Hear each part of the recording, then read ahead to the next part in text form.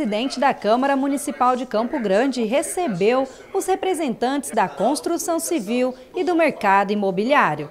O objetivo do encontro foi discutir com as entidades a criação de um convênio para troca de informações sobre os projetos elaborados na Casa de Leis. Para nós, esse convênio vai facilitar porque tudo que for referente ao mercado imobiliário, que afetar o nosso mercado, nós teremos condições de discutir isso antes que aconteça um projeto seja aprovado. Então, para nós, isso aí é de suma importância. Nós precisamos criar diálogo entre a sociedade e o presidente. Nós, já conhecendo do Carlão, nós já tínhamos essa experiência e sabíamos dessa abertura que ele dá. Então nós estamos aproveitando para vir aqui nos oferecer como entidades uh, para qualquer dúvida, qualquer projeto, consultar, nós estamos à disposição. O setor representa 7% do PIB do município. A parceria tem a finalidade de manter o diálogo para a elaboração de projetos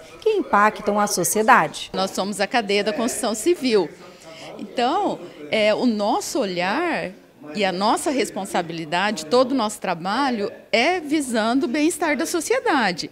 Cada ação e cada decisão que a Câmara toma, que a gente possa participar, é o olhar da sociedade. Essa, esse convênio, essa convivência do Legislativo com a sociedade civil organizada, é importante. A Câmara não pode legislar, fazer projeto de leis que vai impactar diretamente na cidade e na, e na área que eles trabalham, sem consultá-los. Eu acho que é importante isso. Então a Câmara realmente vai fazer esse convênio.